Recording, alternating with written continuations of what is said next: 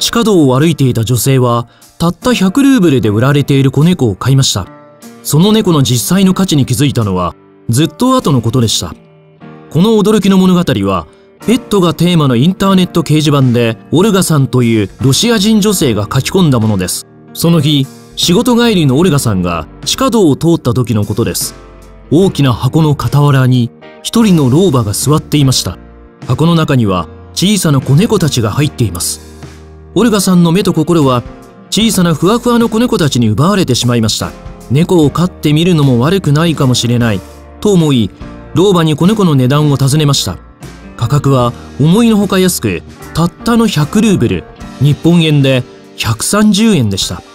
オルガさんはもう一度子猫たちをよく見て赤毛のオスを1匹選びました。老婆に子猫の月齢を尋ねると老婆はぽつりと生後1ヶ月だと答えました。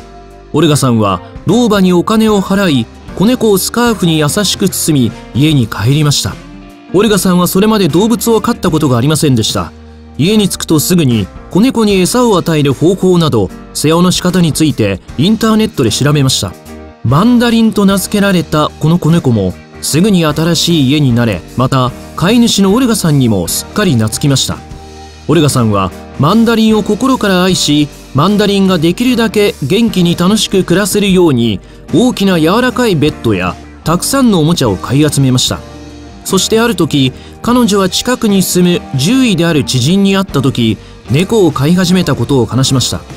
知人はそれなら近いうちにマンダリンを見に行くとオルガさんに約束しました。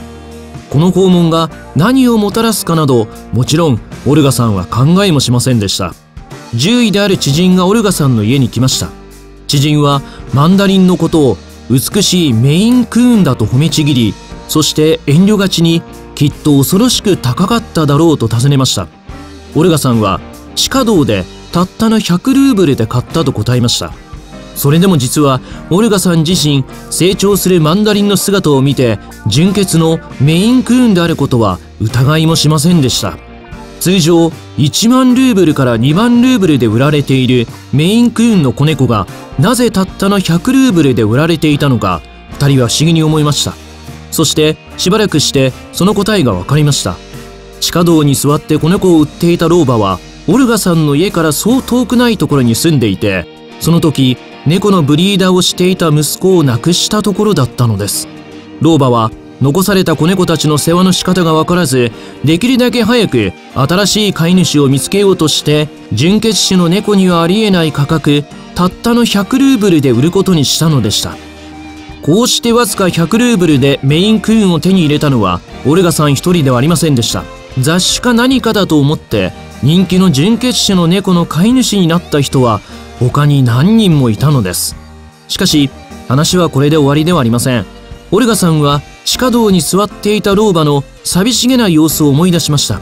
そして老婆の家を探し見つけ出し彼女の元を定期的に訪れるようになりました。オルガさんは老婆と一緒にお茶を飲みながら話をして時間を共に過ごしました。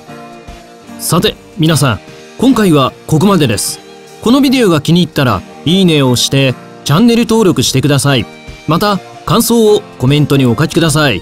ではまた。お会いしましょう。